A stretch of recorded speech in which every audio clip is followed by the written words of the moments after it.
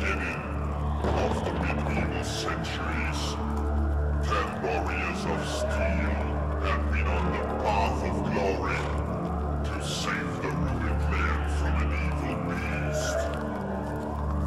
On their way back home, after a dreadful fight, they are chanting for the victims they lost in the war. But the fire still burned.